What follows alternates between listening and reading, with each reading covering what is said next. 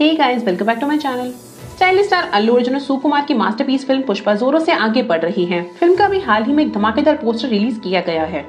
और फ़िल्म 13 अगस्त 2021 को हिंदी, तमिल, तेलुगु, मलयालम और कन्नड़ा के साथ 10 भाषाओं में रिलीज़ की जाएगी।